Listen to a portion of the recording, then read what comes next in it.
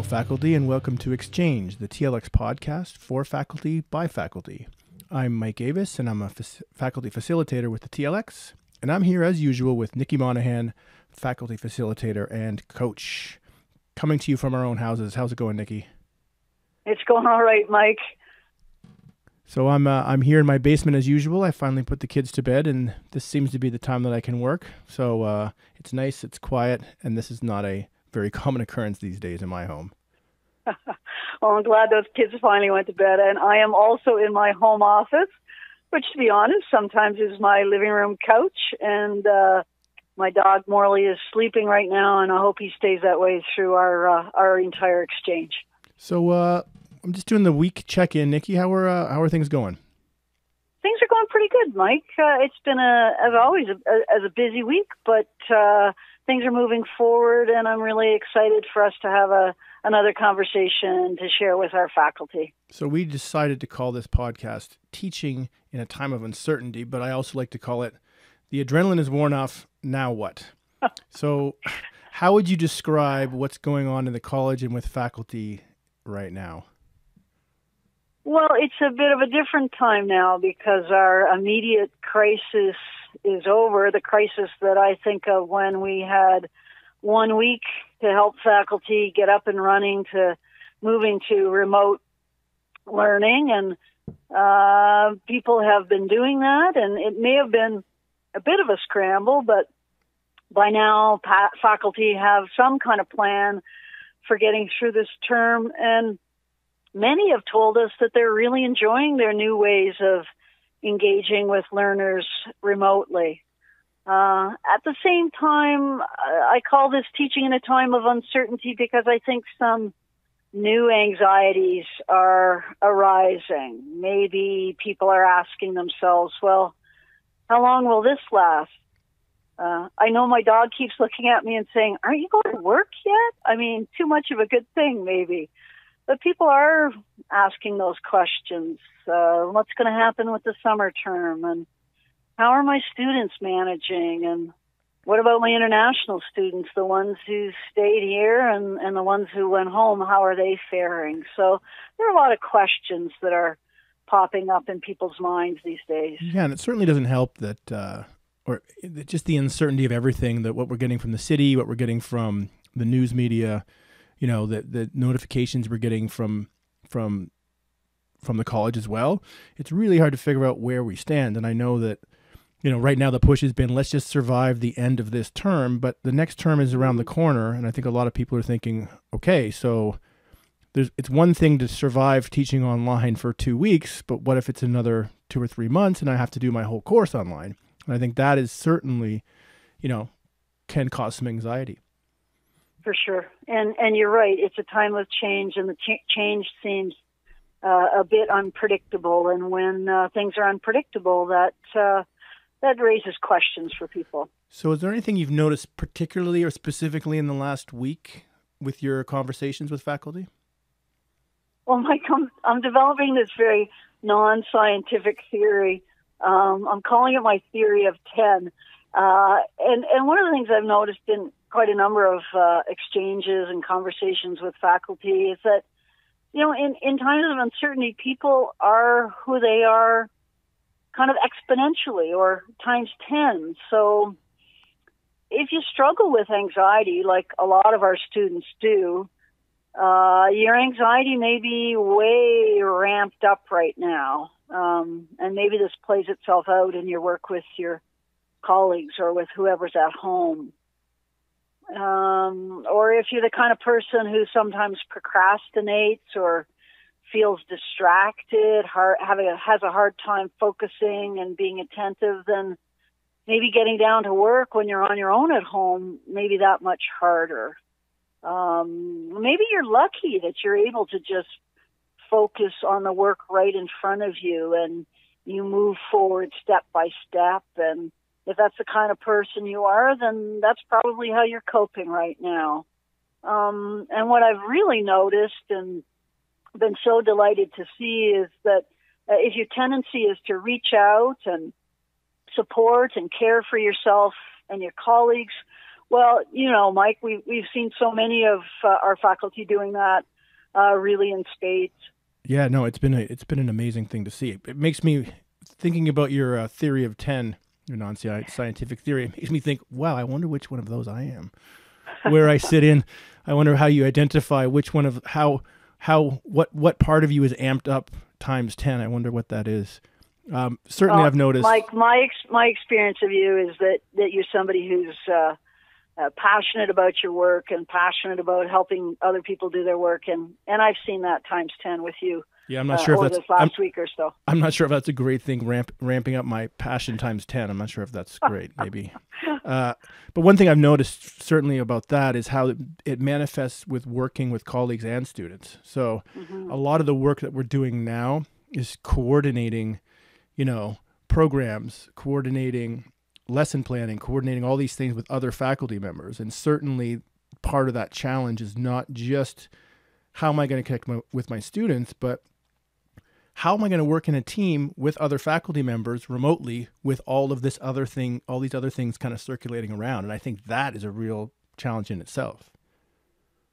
Absolutely. And, and there are definitely complex layers of these new working realities, and and I think it's um, it's important for us to recognize what these new realities are. I had one faculty member who was just delighted because she had finished her first uh, uh, Collaborate Ultra session, and she said, "Geez, there were more students with me remotely than there were in my last face-to-face class," and she was really excited about that. But there are also some extra strains maybe for some of us working remotely. So uh, again, there's there's all kinds of proficiency among our faculty members in using technology, but you know, if you were someone who had a, a learning curve, maybe you're feeling a little bit less confident, or yeah, maybe certainly. you're making some mm-hmm. some mistakes, or and not being sure if the technology is going to work 100% of the time uh, can make us uh, feel really vulnerable. And, and, and, also, having to rely on technology to solve your technology is just another added piece to that to that strain of working remotely, right? So, if you're used to going into a place and talking to a talking to someone sitting next to them, now you have to rely on, on technology to do that. So that that certainly can add a strain. What else is there? Well and I'm also thinking about, uh, you know, even what people's working conditions are like at home, and and you know, we we have when we go into our spaces in the college some predictability. Uh, maybe your office isn't always quiet, or maybe you don't have the classroom you you know the ideal classroom you would have chosen, but working conditions at home are really variable. I'm thinking about people like yourself who now have uh, kids at home and maybe you're trying to work and homeschool or um, maybe you're used to seeing your partner at the end of the day and now they're there 24 7 and, and that might be a good thing or that might be wearing or you know maybe you live alone uh, and now you're working alone and uh, the college has been a place where you've gone for social contact that's actually face to face and not virtual. So mm-hmm. uh, these are new working realities, and and um,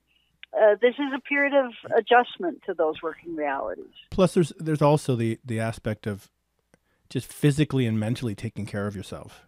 You know, uh, especially with the physical isolation that we are practicing, all of us. Mm-hmm. I hope. Mm-hmm. Um, mm-hmm. There's a lot of time where you're, at, like as you said, either crammed in a house with a bunch of people, which is my case, or maybe you're maybe you're just you don't have that that social contact that you'd like. So the the reality is right now, mental health and physical health are really important, and taking care of that's also really important. Absolutely, and you know while we are really depending on this technology, there's a way in which uh, working remotely can you know lead us down the path of uh, working all the time. You know, there maybe there's a tendency for the workday to become the whole day or the whole night. You know, I'm aware we're doing this at 9:30 at night while your kids are in bed, and that's when it's quiet. And so, um, you know, establishing some some boundaries for work and really taking care of our physical and mental health is is really important. So establishing some you know, routines for the workday or some structures or finding ways to take uh, breaks from work is really important. Okay, so that that leads us to the I think the real reason for this podcast is Mm-hmm. yes, all these realities are here. Yes, we're coping with a lot of them, or maybe not coping as well as we could. Mm-hmm. How do we manage it all? What do we do? How do we work through this uh, challenging time right now?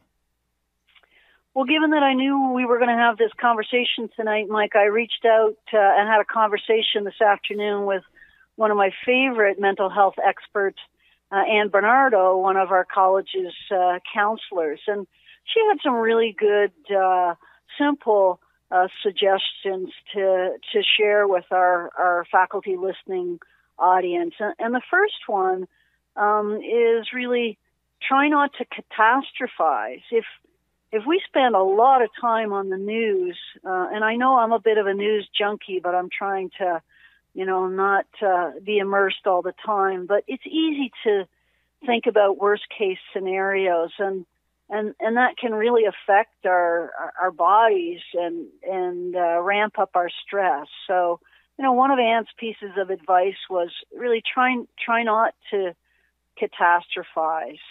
Um, this is also really a time to to be kind to ourselves and and gentle with ourselves. And one of the practices that uh, uh, that I've engaged in for some time, um, given my background in positive psychology, is is really a practice of monitoring my own self talk, especially negative talk. And when I when my own anxiety ramps up, I notice I'm saying, "Oh, what if this?" or "What if that?" or "I should do this," and and you know, and we really have to turn the volume down on our our negative self talk.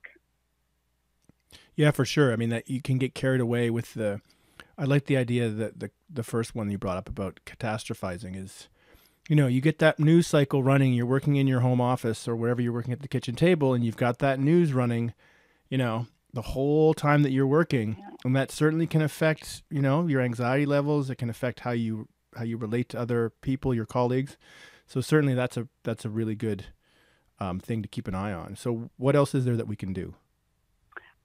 Um, one of the things that you know a lot about is uh, there's a different experience when you're working from home when you have uh, small children around, and I know there's been lots of discussion on the news uh, ab- about should should parents be homeschooling at this time, and you know how do you do a full time job and and uh, take on the job of being your child's teacher as well. So, Mhm. you know, the advice that I got from Anne really was to, again, not expect perme- uh, perfection of yourself as a as a teacher to your kids. You know, even even one hour a day of schoolwork uh, is, is more than enough. But there are lots of ways for uh, kids to to learn when they're at home.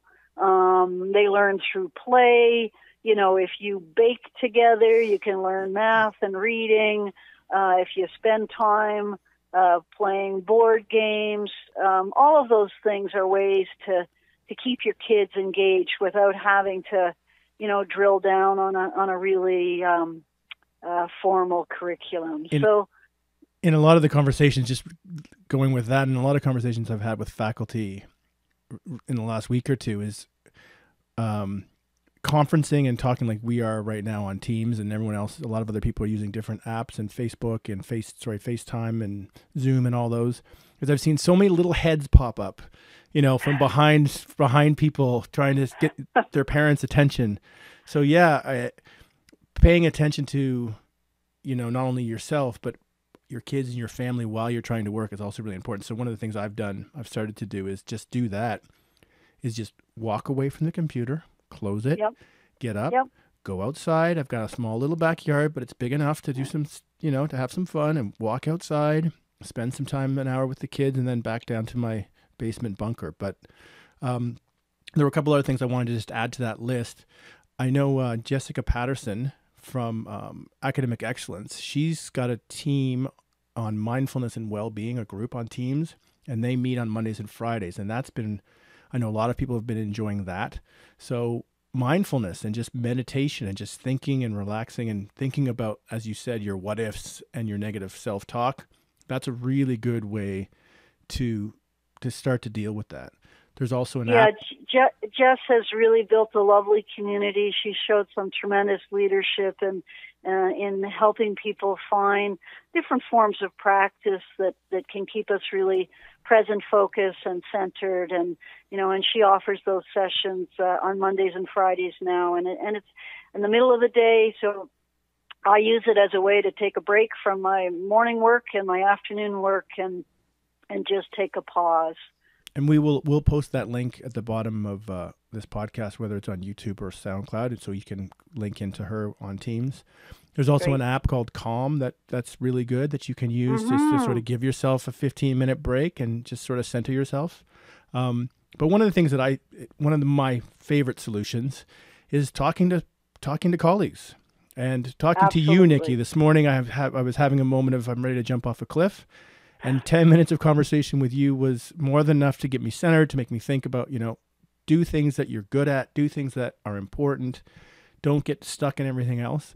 So, really, just talking to colleagues. And one thing I wanted to mention about that is um, Microsoft Teams seems to be a place where that's now happening. If you're not on the Teams mm-hmm. site, we have seen a massive spike in the use of Teams. So, maybe about three weeks ago, before this all started to happen, we had maybe a, on the TLX team site maybe a hundred active users.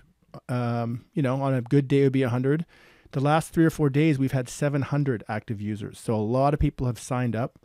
A lot of people are using Teams to talk to each other, to, to compare ideas, to encourage each other, to share to share success stories and challenges. So that team is yeah, there. it's a it's a great resource, Mike, and it really is a place where we are uh, building community, and every single day I see faculty reaching out yeah. to share ideas, support one another, troubleshoot, uh, problem solve, etc. So uh, while we can't be physically close, we certainly have lots of ways to to stay connected uh, with our colleagues.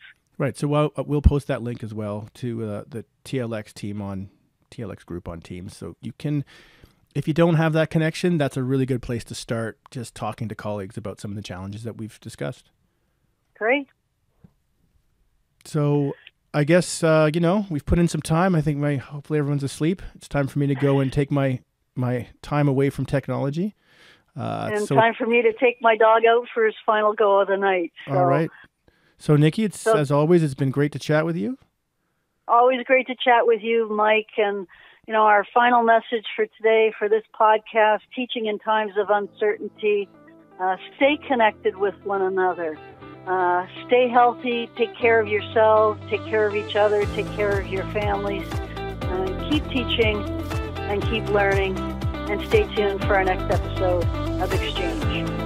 Have a good night. You too, Mike.